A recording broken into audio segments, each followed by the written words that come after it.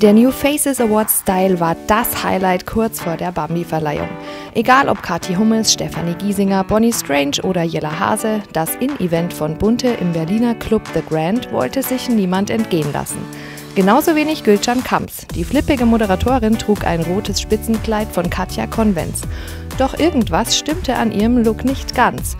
Richtig, sie hat Kratzer am Schienbein. Wo die wohl herkommen? Äh, das war ich gerade, ich saß gerade beim Essen und ich habe das Gefühl, irgendwas ist an meinem Bein hochgekrabbelt, als wäre da irgendwie ein Käfer oder eine Spinne hochgekrabbelt, eben gerade. Jetzt sehe ich das selber und dann habe ich so gekratzt vor Schreck, dass das jetzt so aussieht. Äh, ja, weil ich habe sehr lange Nägel und äh, wenn man da, sage ich mal, an der Haut kratzt, es hat mich eben gekribbelt. Also ich glaube, mir ist eben eine Spinne am Bein hochgelaufen und vor Schreck habe ich da so gekratzt, deswegen sehe ich so aus. Aber was, was ein Horror? Hast du Angst vor Spinnen? Ich würde durchdrehen.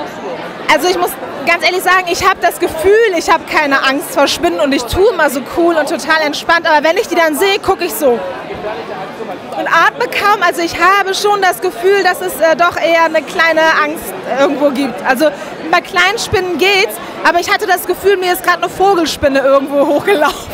ja. Nun, wo Gülcan Kamps schon auf Tuchfühlung mit einer Spinne war, drängt sich bei uns natürlich sofort die Frage auf, ob sich die 34-Jährige vorstellen könnte, auch mal im Dschungelcamp vorbeizuschauen. Also ich glaube, fast jeder äh, Künstler und Moderator, Schauspieler, Sänger in Deutschland hat wahrscheinlich schon mal einen Brief bekommen, ähm, ob man dann nicht gerne am Dschungelcamp teilnehmen möchte. Und ähm, ich kann mir das so nicht vorstellen. Also ich ähm, bin da kein Fan von. Ich bin auch nicht unbedingt jemand, der das jeden Tag schaut. Ich muss dazu sagen, manchmal schaut man unter Zugzwang mit, weil eine ganze Gruppe von Freunden oder so sich dann wirklich abends dazu trifft und das schaut, weil es eine Art Event ist. Aber äh, mir ist das einfach äh, zu krass, mir geht das einfach einen Schritt zu weit. Schade, denn wir könnten uns sehr gut vorstellen, dass Gülcan mit ihrer aufgeschlossenen und sympathischen Art den Laden ordentlich aufmischen würde.